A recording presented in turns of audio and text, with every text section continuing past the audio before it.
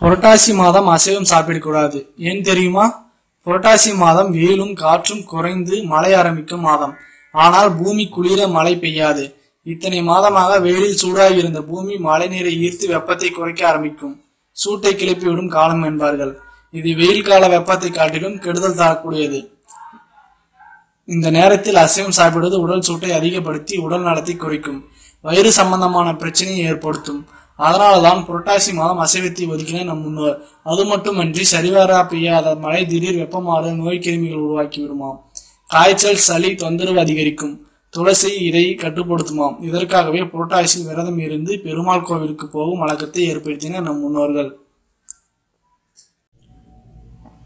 இந்த வீடியோ உங்களுக்கு பிடித்திருந்தால் தமிழ் சிறை சேனலை சப்ஸ்கிரைப் பண்ணுங்க மற்றும் பெல் ஐக்கானை கிளிக் செய்யுங்கள்.